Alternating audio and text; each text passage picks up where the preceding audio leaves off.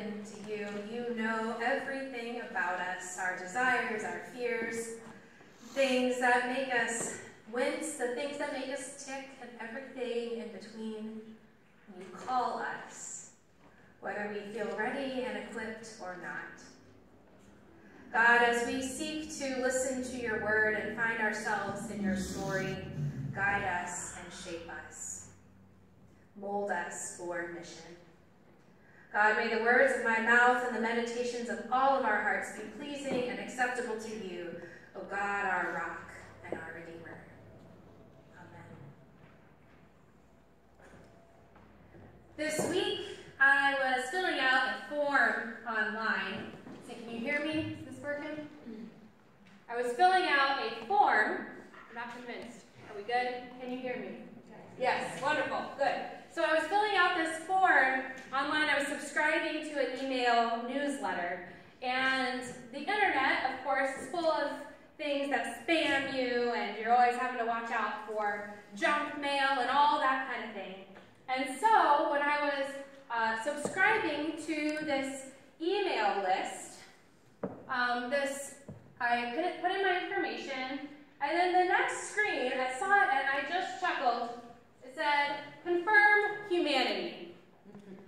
You see, oftentimes when you subscribe to something, this makes you check a box that says, I am not a robot, or maybe enter in a code that looks a little jumbled that you're going to have to use your human intelligence to be able to decipher.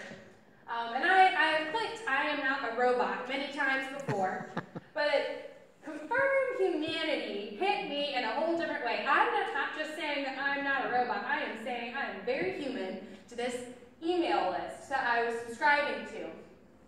Confirm your humanity. I, for one, feel very human.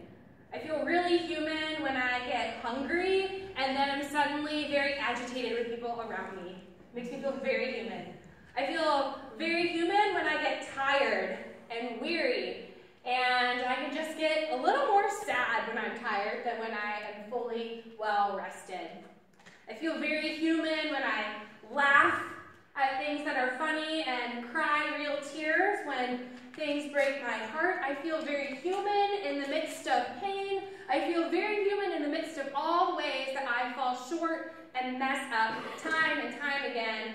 I have many ways to confirm my humanity, and this, oddly enough, was one way that I confirmed my humanity this week.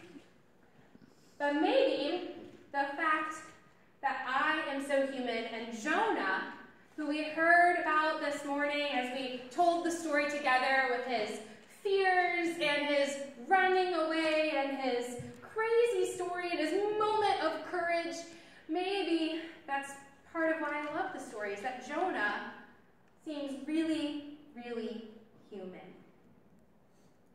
Now, last week we began our series called Unqualified, where we're looking at stories of ordinary people, human beings, that our extraordinary God calls. People that who not, are not necessarily equipped for the job, but the God who calls is the God who equips.